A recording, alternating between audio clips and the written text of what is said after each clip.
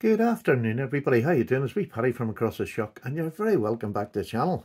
And I've got a lovely video today. It was going to be three unboxings but they were so well packed it would have took me a half an hour to do it. Now this was the unboxing knife which is very sharp and very good and it done it all for me but it would have taken me ages and it just wouldn't have looked that good. So I scrapped that idea and I decided I'll just show you the three things that I've got.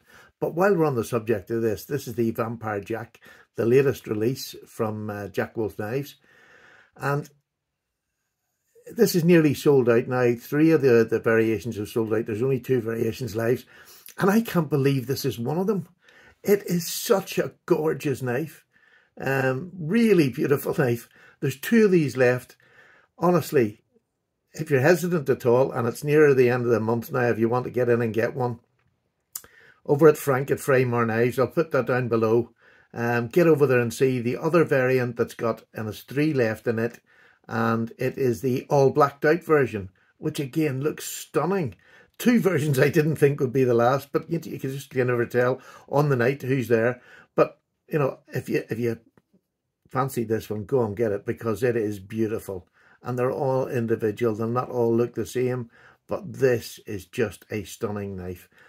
It's a stunning knife, full stop with that spear point, uh, you know, whatever you want, people call them pen blades or whatever. It's just a fantastic all-round knife and will do your work. And please do not let this hump in the, in the centre. This is the Vampire Jack with the coffin ends.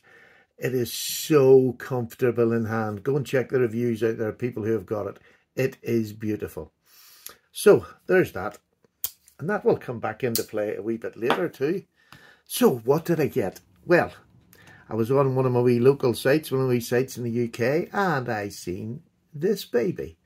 And recently, I've had a, a real run recently of buying bayonets and things like that. It's not something I've ever been interested in, but like this hobby does, and I've been talking about it recently, it's really got me. And uh, this needs, it doesn't need it. It's absolutely beautifully preserved. It is the Ontario, let me just see, there you go. It's the Ontario Knife Company um, this is, I think this is the fifth. I'm not sure we use Americans what way you do that. Is it the first or the fifth this was made? Um, I don't know when, I haven't a clue. So, but anyway, maybe that's just a serial number. But the titles that it gives it, it's a knife hunting sheath survival pilot's knife. And again, I don't know too much about whether this was something Ontario. I know they're made for the military. Um, but let me just take this knife out. Look at this beauty. It is in really good condition because I take it, it doesn't look like it's very old or very uh, young, I would say. It's been well and truly sharpened and used. Not a bad edge on it. But this leather really needs some feeding and I'm going to do that. I'm going to give that a good soak in mineral oil and see if we can get some of the oils back in that again. Uh, it's very dry, very coarse, so I'll get that done.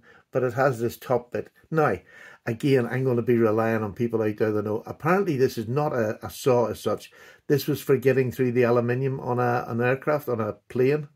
Um, you know, to cut your way out of the plane. I'm not too sure. I'm sure I heard that with Tobias or something like that. But it's a real, it's a carbon steel blade, which I like. Um, and it's a lovely shape. It's actually a nice looking, and it's not as heavy. This is a lovely pommel. It's just like a big bolt head and it is so comfortable in my hand. You can see just how well it's a good, solid, big knife in your hand. Just a great beater knife for around a camp, uh, which is what I'll I'll be using it for.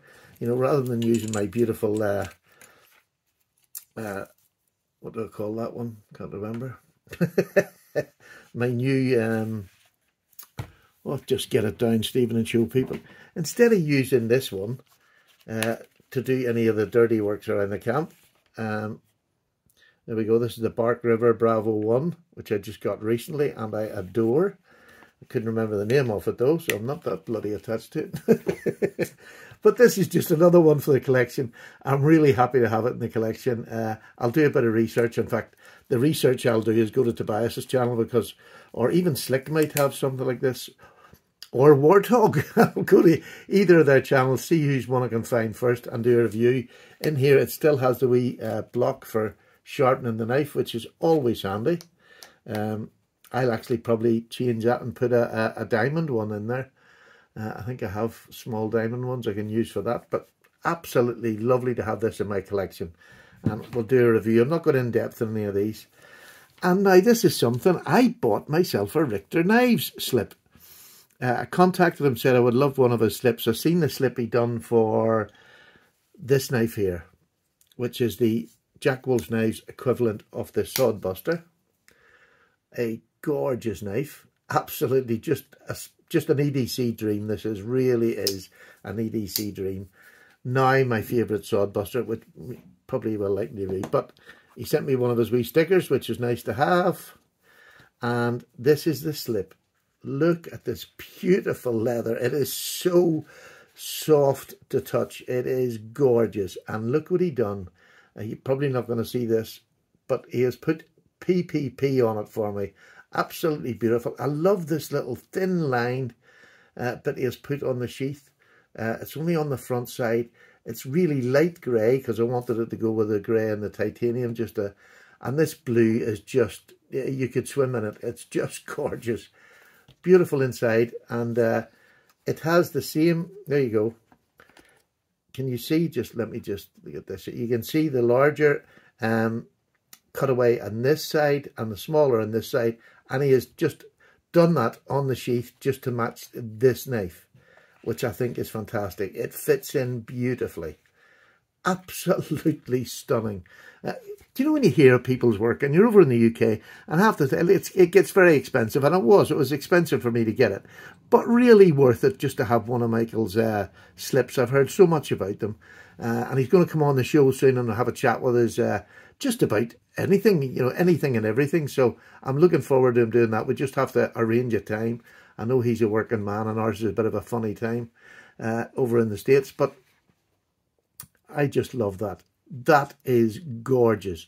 But it'll not just do... I don't buy a slip for individual knives. This is the one that's going to get carried probably the most out of all of them, to be honest. But this month's one, the Vampire Jack, fits beautifully in it. The Big Bro Jack fits beautifully in it. My case with a funny pokey bit on it fits absolutely lovely in it and makes it easy to get out. Uh, my Ashley Harrison blue knife, I've got an abundance of blue knife, fits beautifully in it.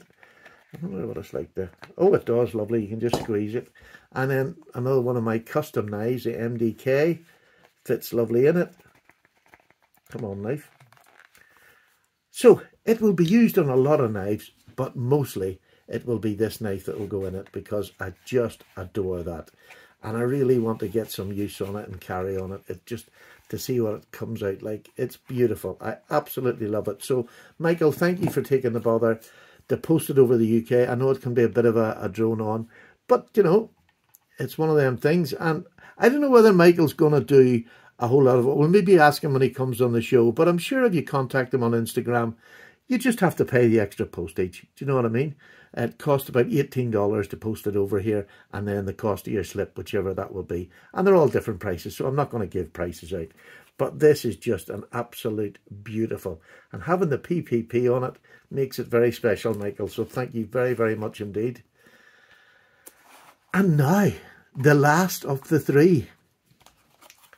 And this is a knife. It's funny, Michael had just done a video on... Uh, I had ordered this, I think the day before or that night before I watched his video.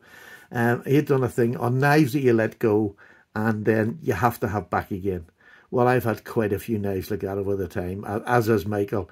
And there's some that you just really, really need to get back again.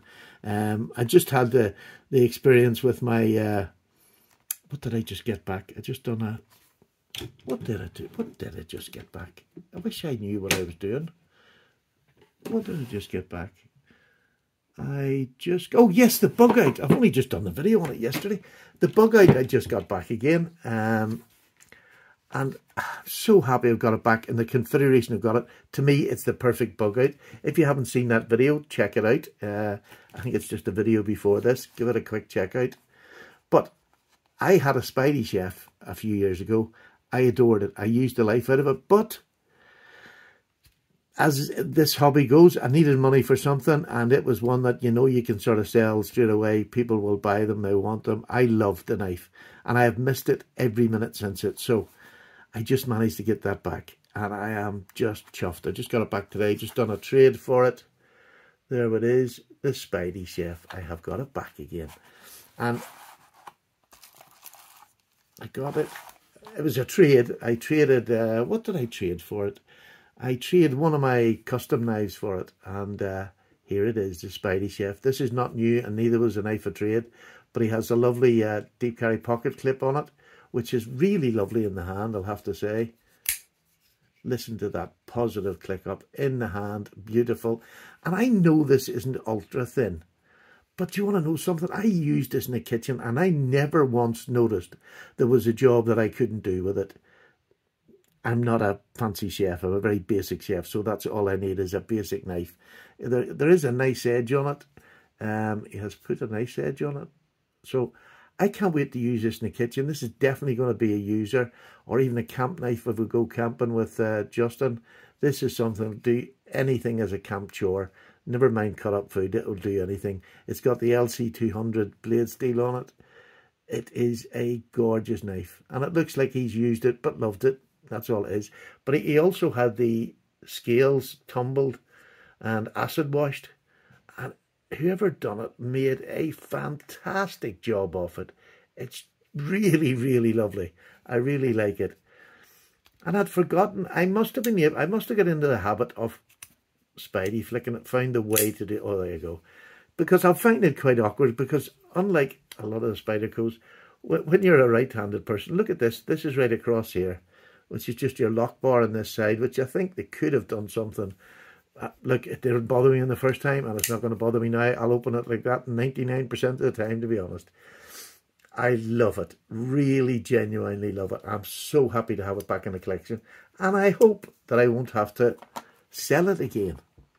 So, we'll do the reviews of them coming up.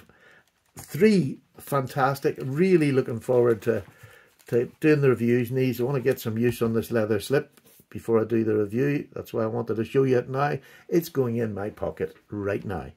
So, thank you very much for watching. I hope you enjoyed that. Uh, I hope you're looking forward to the reviews on it. And uh, I shall see you very shortly for another video. Take care, everybody. Bye-bye.